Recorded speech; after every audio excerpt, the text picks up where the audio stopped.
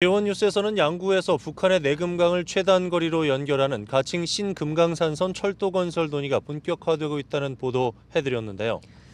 네, 양구군은 신금강산선 철도와 관련해 자체 용역을 실시하는 등 그동안 준비 작업을 해왔는데 신금강산선 철도 건설의 가능성과 과제는 무엇인지 짚어봤습니다. 김영기 기자의 보도입니다.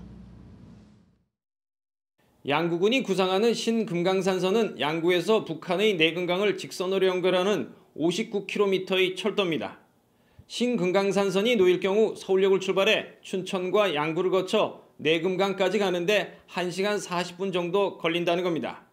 한국전쟁 이전에 철원을 거쳐 내금강을 가는 관광철도가 있었지만 폐선이 된 데다 북한의 임남댐으로 복원이 사실상 불가능하고 길이 또한 두 배 가까이 됩니다.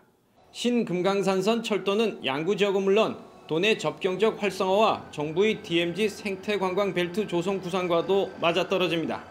문재인 정부의 한반도 신경제지도 구상 DMZ 평화 벨트와 연계가 돼가지고 여기가 그 국제 관광 지구화가 돼서 지역의 경제 발전은 물론 강원도의 관광 발전에도 큰 기여를 하게 될 것입니다. 그렇다면 신금강산선의 실현 가능성은 얼마나 될까? 양구군은 신금강산선 철도 기본 구상 용역을 완료하는 등 그간 착실히 준비해왔지만 넘어야 할 산이 많은 게 사실입니다. 당장 가장 급한 게 신금강산선 철도를 국토교통부의 제4차 국가철도망 기본계획의 신규 사업으로 반영해야 합니다. 남과 북의 관계가 있기 때문에 먼저는 남북 관계가 좀 화해 분위기가 좀 되는 것이 중요하고요. 그리고 이제 좀 전에도 얘기했지만 제4차 국가 철도망 구축 계획에 이 계획 자체가 들어가야 됩니다.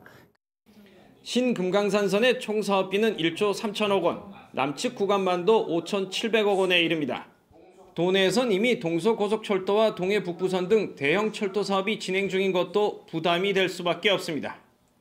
하지만 전문가들은 남북 관계 개선 이후에는 SOC 투자가 급증해 현재보다 사업비가 늘어날 수밖에 없다며 신금강산선의 선제적 투자 필요성을 제기하고 있습니다. 국회에서 지원 뉴스 김현기입니다.